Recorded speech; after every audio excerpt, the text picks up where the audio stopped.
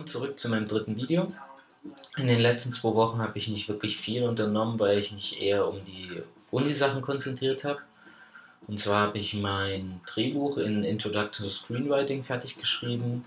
Ich habe in Documentary, haben wir vor zwei Wochen angefangen, oder da haben wir unsere Dokumentation gedreht und sind jetzt äh, im Schnitt. Und in Digital Filmmaking haben wir auch letzte Woche unsere Doku gedreht und das muss jetzt jemand anders noch schneiden. Und in den zwei Projekten muss ich jeweils noch eine eigene Einschätzung schreiben und dann bin ich eigentlich soweit durch mit den Projekten. Finde ich auch ganz gut, dass ich so in den nächsten anderthalb Wochen fertig bin, damit ich dann einfach nochmal anderthalb Wochen Zeit habe, um mir hier mehr anzugucken. Ich bin zum Sport gegangen. Wir haben hier noch einen Kraftraum, den wir kostenlos nutzen können als Studenten.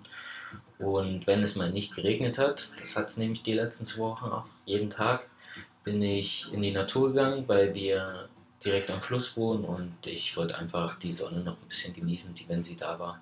Hab dann noch ein paar Bilder gemacht und da ist mir aufgefallen, wie ihr auch schon in dem Video sehen könntet, dass die hier echt viel Müll rumliegen lassen einfach. Und mir ist auch schon aufgefallen beim Einkaufen, dass echt viel Lebensmittel doppelt und dreifach eingepackt sind.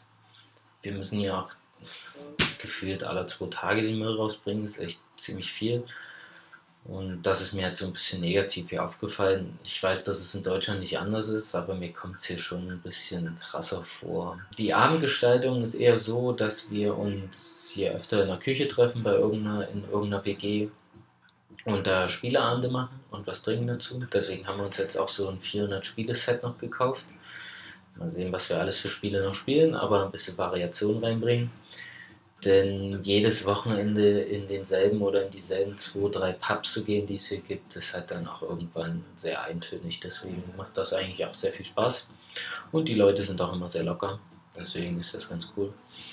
Und die nächsten Wochen werden, denke ich, wieder ein bisschen ereignisreicher, weil wir nächste Woche nach Edinburgh fahren wollen. Ich hoffe, da wird das Wetter wieder ein bisschen besser. Und ich kriege noch Besuch, deswegen werde ich mit denen auf jeden Fall auch noch was unternehmen. Ja, und dann sehen wir uns im nächsten Video wieder. Welcome to the world, welcome to Cosmo X.